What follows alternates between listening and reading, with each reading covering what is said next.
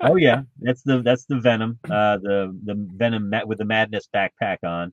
Uh, yep. It's a great figure. Uh, another another great figure we did, and um, one we've reissued a bunch of times because it's just uh, it's a constant sellout. It's just a really good looking figure.